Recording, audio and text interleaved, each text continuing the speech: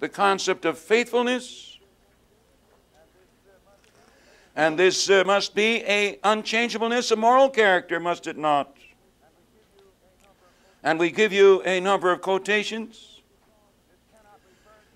This cannot refer to God's actions toward different situations because He very outstandingly changes His activities according as His responsibilities would indicate.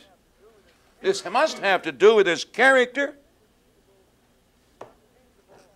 His unchangeable manifestation of love in the choice of his great being. So at the bottom of the page we have these quotations. Deuteronomy 7 9, Thy God, He is God, the faithful God.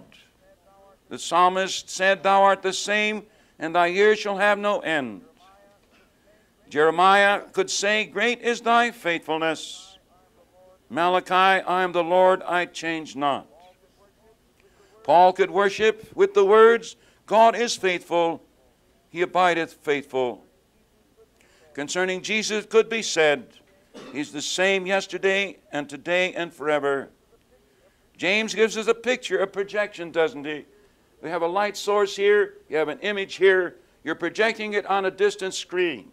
You don't have to move this image very much to have a very great movement on the projection, do you? And so this is what James is saying. There's not only no movement, in the moral character of God, but there's no movement in a projection. There's not even a shadow of turning or a shadow cast by turning.